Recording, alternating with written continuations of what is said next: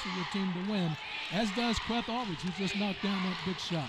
He's been playing great basketball lately for Gardner Webb. Pember with ease on the jumper. There, and a good finish at the rim for him. Inside for Banks for two. Ups.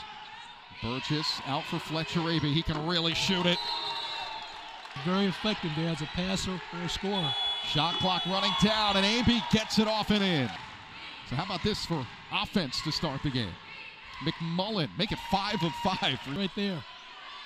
Pember shoots it over Caleb Robinson. this year on Pember than they were a season ago when they won the conference title. As Abee hits that off the bounce. Sizes up Mike Calcio and hits the three. That's what Josh Banks can do. Fast. They're doing it with Pember on the bench. Solomon for two since the 13-22 mark. Battle inside. The shot you want McMullen to take, and you also want him going to his right.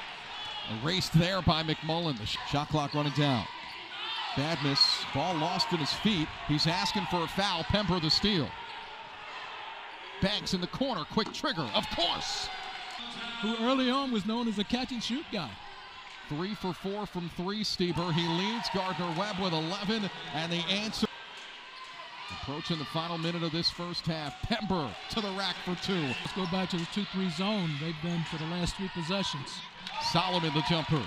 Well, you got to find McMullen when that ball goes up on the rim. Banks floater. Very active. And the putback from Solomon. Here's the matchup right away. Isolated for Pember.